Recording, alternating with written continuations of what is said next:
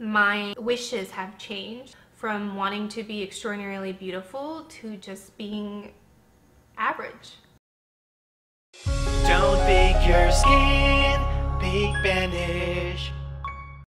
Hello Perfect Beauties, my name is Daisy. I am the founder and CEO of Banish. Recently, during one of my lives, one of my earliest followers remembered the video they watched. It was called The Truth About Being Beautiful, which I will have linked here and also down there. And in that video, I think it was one of my most vulnerable videos because I discuss really what being beautiful and not being beautiful is like. For you guys who don't know my story, I've had acne, I was kind of outcasted, I looked different from everybody, and I was just made fun of because I was considered ugly.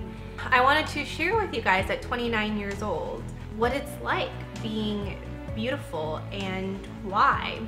If given the opportunity, I wouldn't want to be an extraordinarily beautiful woman, even though that was something that I have longed for when I was so much younger. My wishes have changed from wanting to be extraordinarily beautiful to just being average.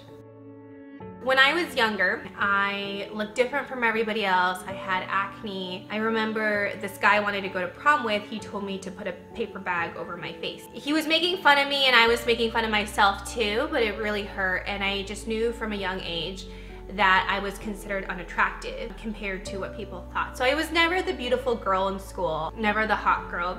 In college, I still had bad acne. I still kind of was through this transition phase where I was starting to feel like I was becoming more beautiful and growing into my own skin. I was portraying myself as a beautiful kind of hot girl and I would wear bodycon dresses, high, high heels, nails always done, eyelashes always done, hair always done like this, just kind of looking like this.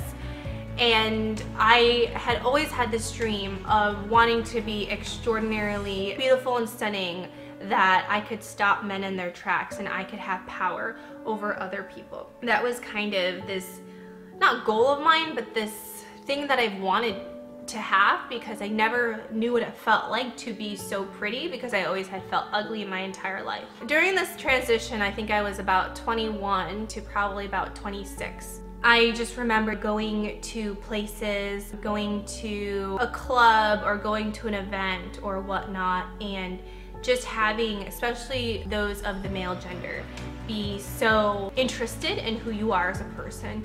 Somehow they wanted to get to know you, somehow they thought you were cool, and somehow they thought what you said was funny. I, am not gonna lie, I really did appreciate the attention from there. But it was kind of interesting because you could definitely tell who wanted to talk to you simply because of the way you looked and who wanted to talk to you because of who you were as a human being or who you are um, personality wise because I know there were some guys who just pretended to be interested in me simply to want things to get to the next level and then there were other guys who actually seriously like cared about what I had to say and my hobbies and interests and stuff like that. So it was just really, really interesting how I could tell from a mile away who was what. But the interesting thing is that when I portrayed myself as a beautiful woman with the beautiful hair, the makeup, the nails, the body, all that kind of stuff, I realized I attracted a very particular type of male. And this type of male was very, I would say status oriented, status driven. So I remember first when I went to LA, I met this this guy who was significantly older than me and I had no idea because he was Asian and you know Asian guys like you know you have no idea how old some Asian people are but he had you know the beautiful penthouse the beautiful car blah blah blah all this kind of stuff and it was very clear that he liked me because of how I looked on paper. You know, I was a beautiful girl who graduated from a good school and who had a good job and all that kind of stuff. But he also was very, I would say, kind of messed up a little bit. He lived in this life where money and status and perception was everything. It was crazy. I was also introduced to this guy who was apparently very, very wealthy. I had no idea who this person was. Apparently, a friend of a, a friend's friend introduced me to him and he's very just not attractive at all. Really the thing that he had going for him was money. We only went on one date, but on this first date, he was just talking all the time about his investments and his money and the land he owns and the famous people he's gonna meet and how in his car it has like bulletproof windows or something. Something where he made him seem like a big, big deal.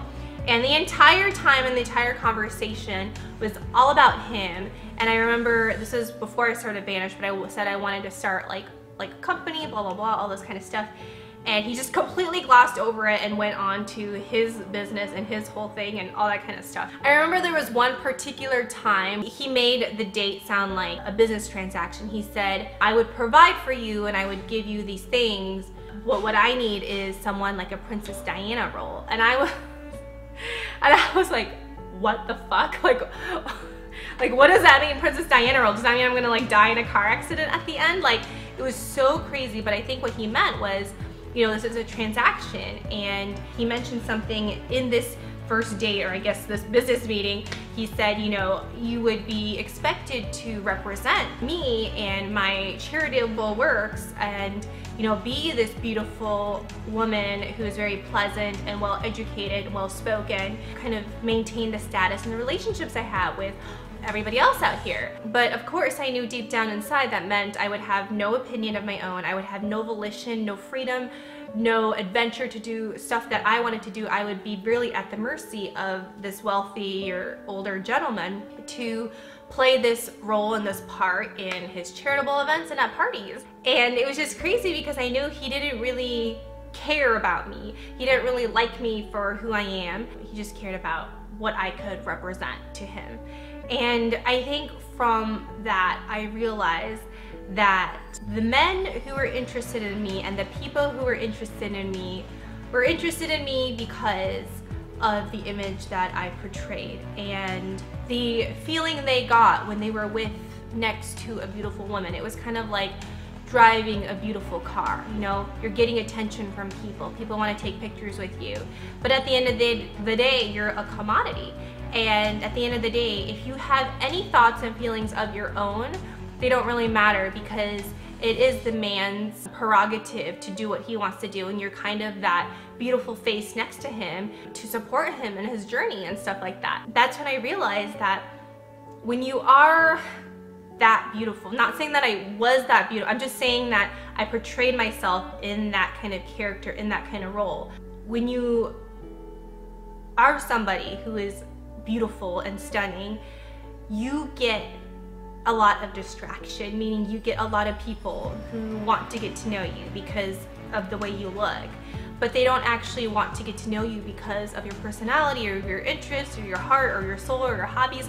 They really want to get to know you because they want what you as a beautiful woman provides, which is status for a man. And I think for the longest time I had this notion and I had this thought that if I am that beautiful, if I am that good looking, then people will like me and people will want to talk to me. But what I realized all along is that the people who are going to like you solely for your looks and are only going to be attracted to you solely because of your hot bod or your big boobs, your nice butt or whatever it is, those people are not going to be there when your nice butt is falling, you know, flat or your boobs are sagging or when you age, you know, 20 years from now and all that stuff.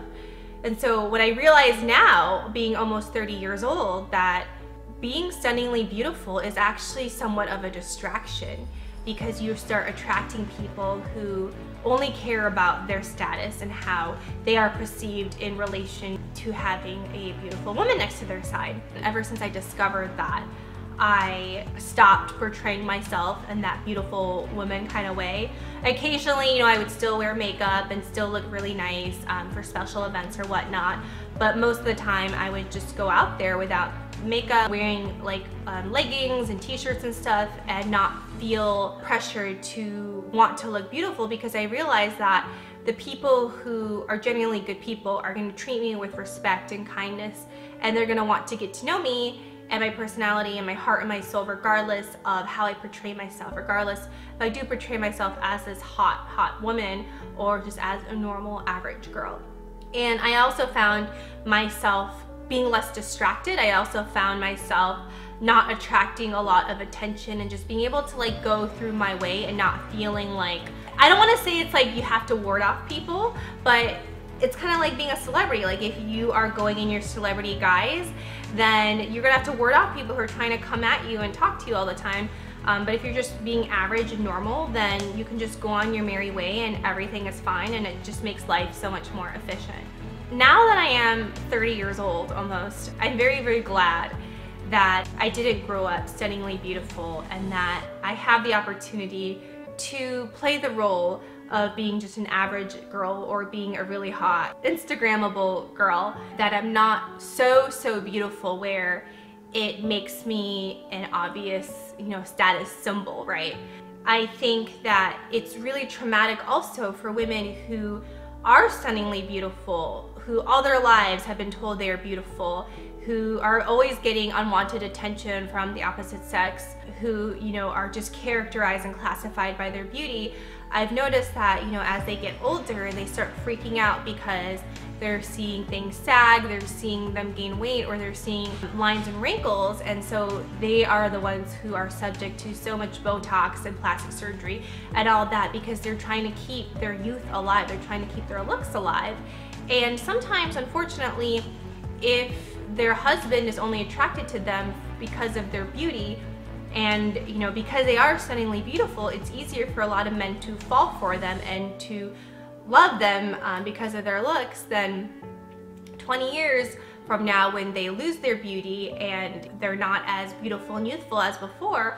A lot of times these men will leave them and go off to the younger woman and it's just kind of like well what was the whole point of being beautiful in the first place like I would much rather just be an average plain Jane and fall in love with someone and be with somebody who loves me for me, not for my looks. So that way if I do gain, you know, 100 pounds or lose 100 pounds or whatever, that man or that person will still be with me regardless that's kind of one of the reasons why now I don't really care about being stunningly beautiful. That's one of the reasons why I don't necessarily wear so much makeup or portray myself in a certain way. I just go out in whatever's comfortable. Um, occasionally I will dress up and look really nice, for example, for this video, but most of the time I just look completely normal and I'm totally fine with that.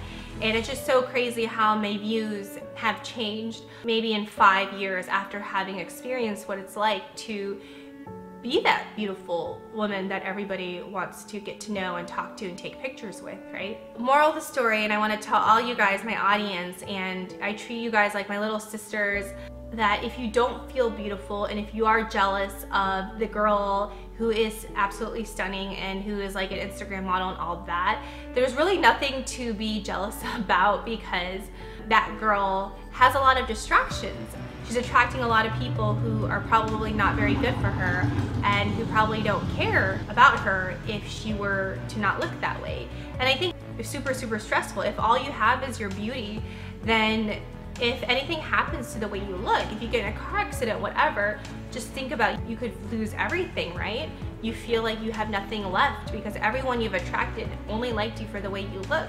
Like that's really, really scary and I wouldn't want to be in the position where everyone in my life was with me for the way I looked and you know anything could happen to me at a drop of a hat that would change the people in my life. So that is the truth about being beautiful and the truth about why I do not want to be a stunningly beautiful woman anymore.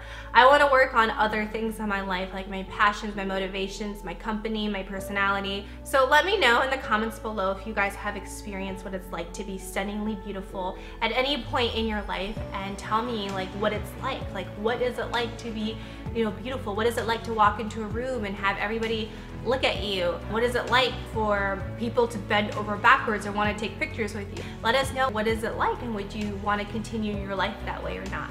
So thank you all for watching and don't forget to subscribe to this channel and I'll talk to you guys later. Bye!